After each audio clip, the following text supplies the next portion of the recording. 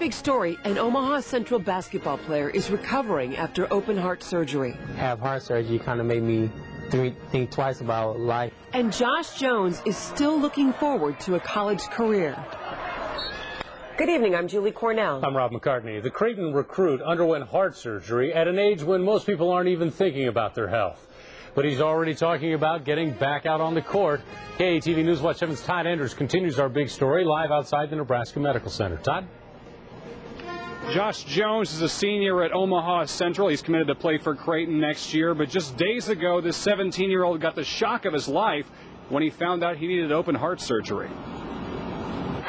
Whether it's hitting the three or running the break for a fancy finish, Omaha Central senior Josh Jones can do it all on the basketball court. But now this Creighton recruit's athleticism is something he'll never take for granted. Have heart surgery kind of made me think, twice about life and The two-time state champion is now surrounded by balloons and posters rather than trophies and school books. This after open heart surgery. scary and shocking. I mean, for me to be athletic as I am and love to play basketball and stuff, I never expected myself to be in the hospital or wherever. Jones started feeling sick three weeks ago. He thought it was the flu at first, but his symptoms worsened. Like I'd be cold one one time, and then I'd be hot the next or whatever. His mom, Desiree, took him to the hospital. Doctors found a bacterial infection eating away at his heart, a rare and potentially lethal condition.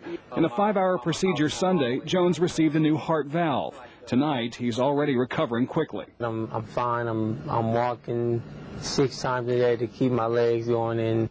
A gift of life Josh and mom are treasuring, along with another one from his doctor. And he told me um, I'm going to be able to uh, play basketball again. He's still got his career, so that'll be great. And I'm looking forward to being down there on the front row. Turns out that's the front row at the Qwest Center. As Creighton coach Dana Altman made a special post-surgery visit to reassure Jones that he'll have a spot with the Blue Jays in 2008. Just make me feel better about the whole situation. that I don't have to worry about no my future plans.